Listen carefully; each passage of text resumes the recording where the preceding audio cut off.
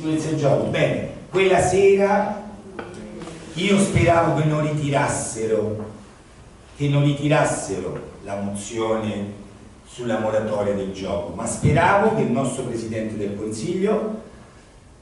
a reti unificate potesse una volta per tutte spiegare agli italiani che se stavamo combattendo per 750 milioni per la seconda rata del, per la prima rata dell'IMU con quella moratoria i politici dovevano spiegare ai cittadini che avremmo dovuto pagare 9 IMU 9 per non vedere sconfitto il gioco d'azzardo ma per ritornare a prima del 2002 dove uno Stato probabilmente moralista preferisce non mettere, non sistemare le cose come hanno fatto paesi più avanti di noi sia culturalmente che economicamente come Inghilterra, come Germania, come Austria.